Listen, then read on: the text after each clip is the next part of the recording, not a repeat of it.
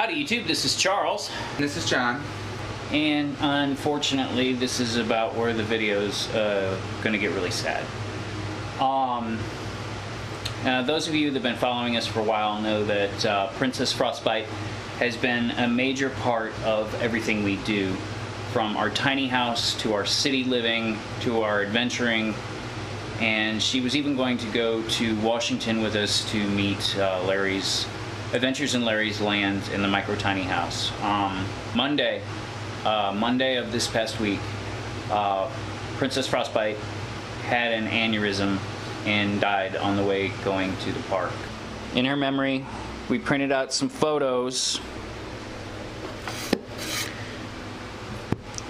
We made this little book.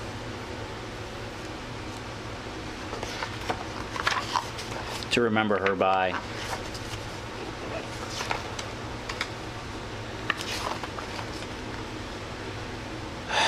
It's really been hard, guys. Um, I'm a pretty antisocial person outside of Jon. Whenever Jon wasn't here, I had frostbite. And um, I don't really talk much about my past in the videos, but I had a really, really bad childhood.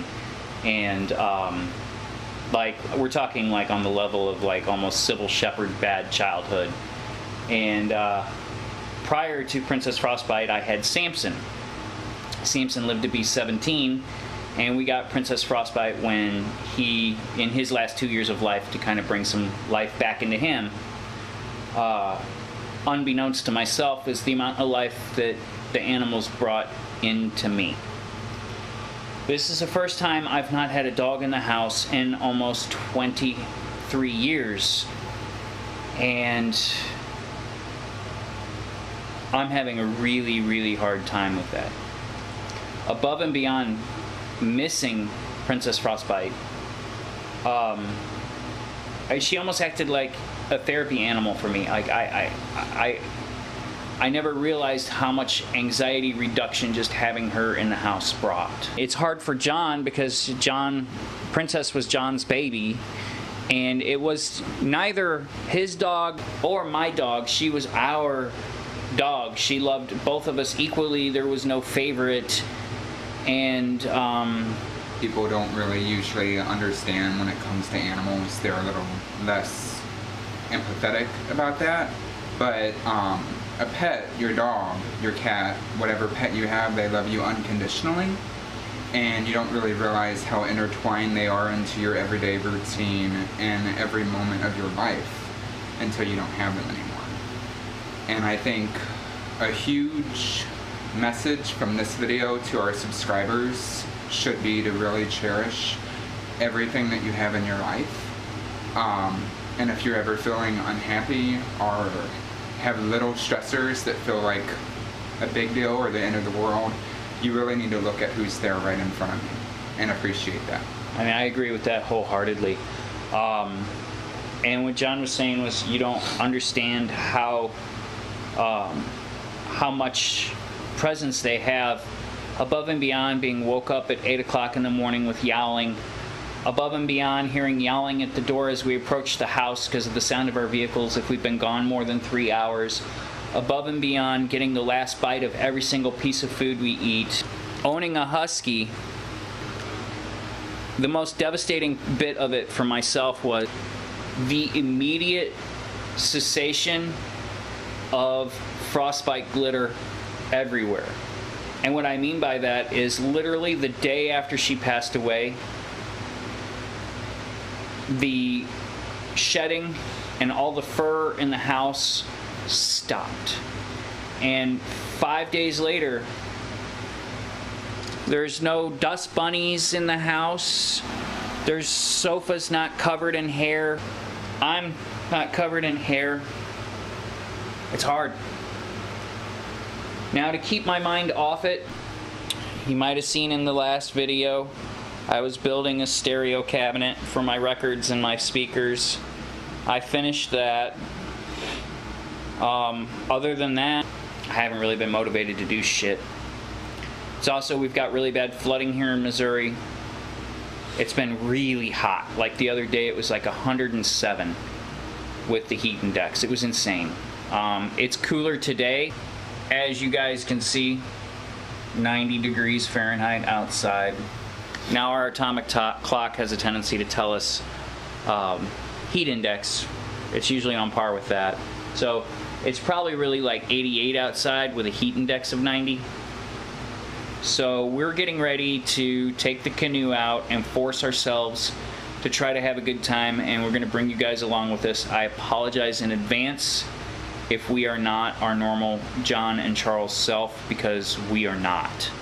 Um, this has been a huge tragedy um, for us. Now we do we have them on our website more so for us uh, because we wanted them, but we also are observant of the fact that a lot of our subscribers and viewers uh, probably were also pretty attached to Princess Frostbite.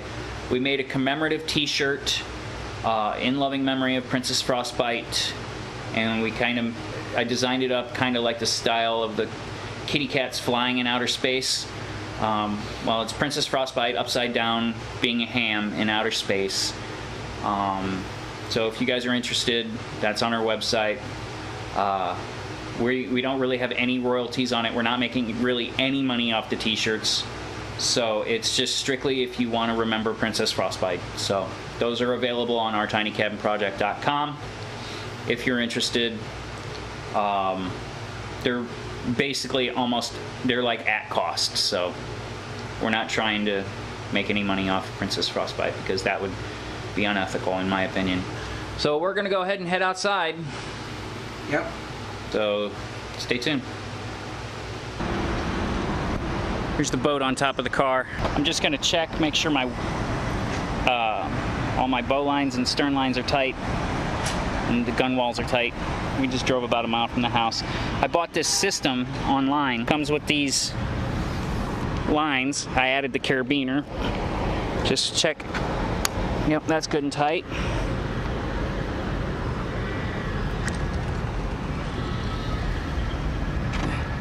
Use cam straps on the top. Make sure these are tight and pushed in.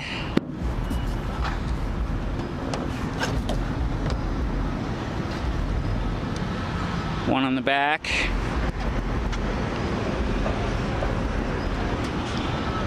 Seems tight.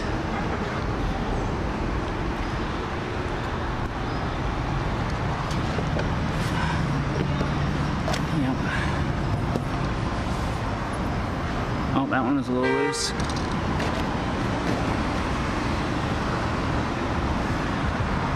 I still I don't go over 55, 60 with this on the roof. Um, because the boat does have a curve down in it, so it kind of helps with the air getting up under there. Air does get up under there. Um, these are aftermarket uh, pieces. As you can see, I already lost a thing. Great.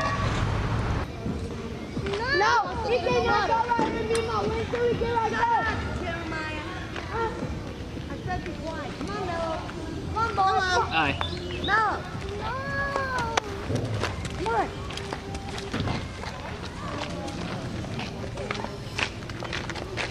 Jimmy, come on. He just wants in the water. Come on. Watch out for the camera.